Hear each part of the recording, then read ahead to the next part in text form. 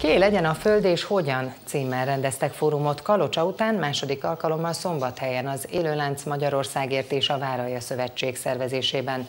A fórumon Ángyán József a Fidesz országgyűlési képviselője volt államtitkár tartott előadást a legújabb vizsgálódásának eredményeiről.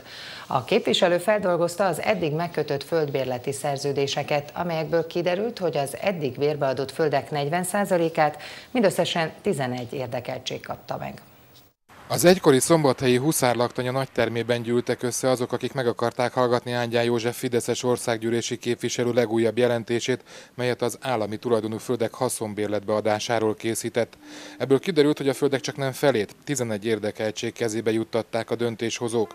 Ángyán szerint a jelenlegi kormánypártok 2010-ben nem ezt ígérték a választóknak. A helyi közösségeknek kell rendelkezniük a saját földjük fölött, a föld haszna ott kell, hogy maradjon a településén, és ez ad munkát, megélhetést a helyi embereknek.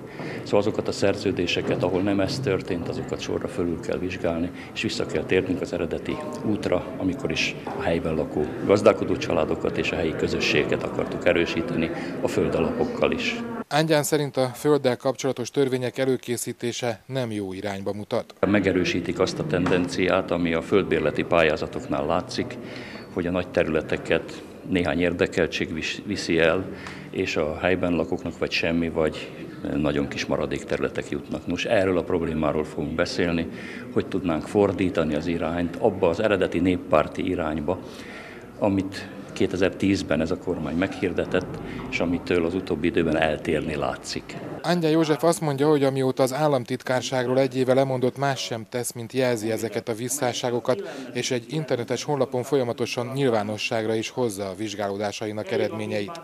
A képviselő abban bízik, hogy az új törvények nem a mostani irányt fogják követni, és a kormány belátva a hibákat a jelenlegi pályáztatási rendszert vissza fogja vonni.